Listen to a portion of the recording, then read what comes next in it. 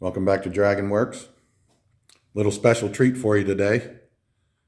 All original 1976 Kawasaki KZ900, also known as the Z1 900 or Z1.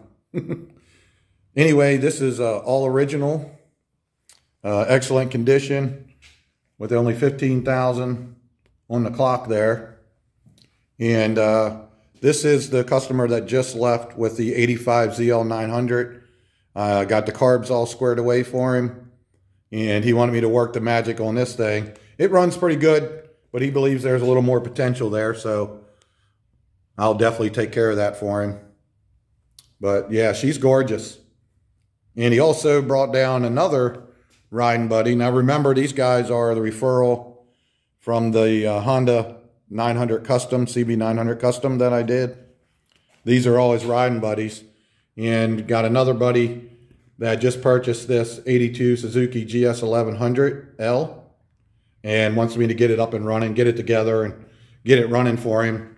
And he's got like three other bikes, uh, same thing, same year, same model that we got to get some work done on. But these are all the referral from the CB uh, 900 Custom that I did.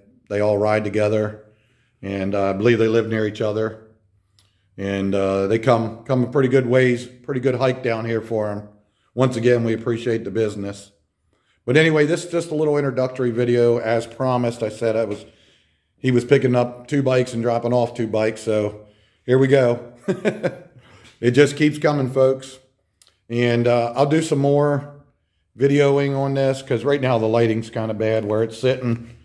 But I'll do some better videoing when I get working on it here, when I get going on it and you can see, you can admire the beauty.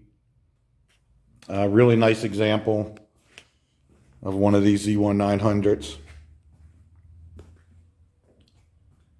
All right, guys. I appreciate you watching. We'll dive into it, and I'll keep you updated.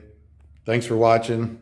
Like, subscribe, tell your buddies, whatever. You need something done, hit me up. This is where the magic happens.